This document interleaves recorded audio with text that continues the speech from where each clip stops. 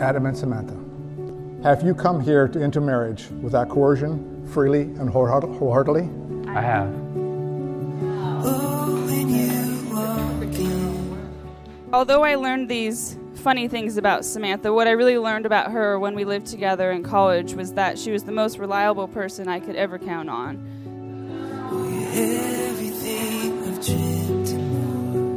Sam is the strong, silent type who never wants to be the center of attention, but is always there caring for others.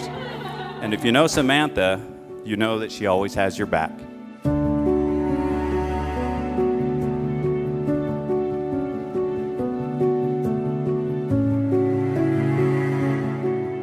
I've learned a lot from Adam just by him being the man that he is. He's just a stand up guy, and uh, obviously that got him to here where he's marrying Samantha, who is a beautiful, kind, obviously patient woman.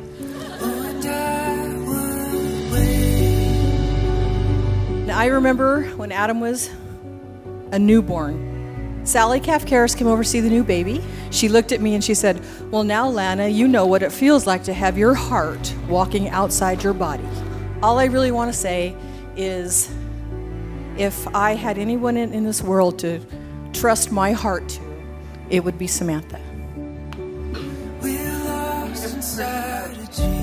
I've known Adam for many years, and uh, over the last few years, I've watched the way that he cares for and takes care of his dad. Having witnessed this, I know that Samantha chose well. I'm so glad that she finally married the man that she was always meant to marry. Way back from elementary school to now, we always kind of knew that they would end up together. They just had to finally figure it out.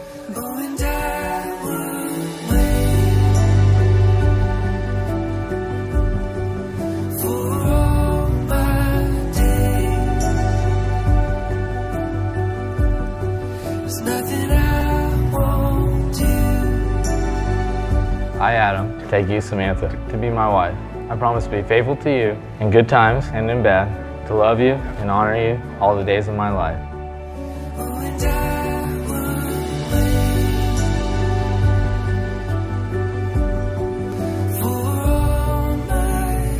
To the both of you, I could not be more excited for you to experience how wonderful marriage is.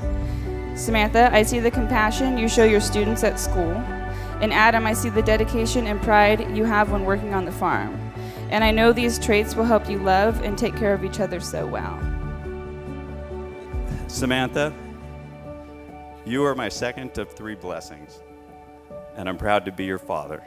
And it makes me happy to see your dream come true.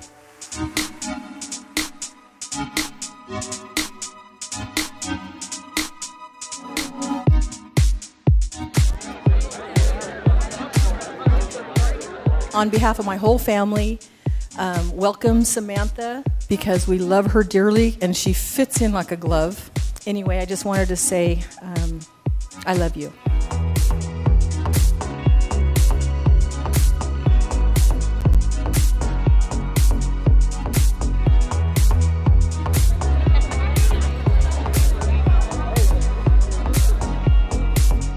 No matter what, we've always had our back. I love you both, and uh, nothing but the best. So let's raise a glass for the newly couple. And thank you all.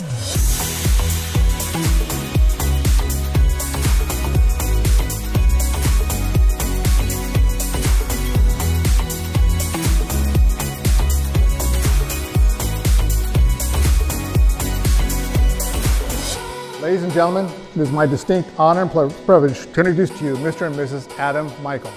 You may kiss bride.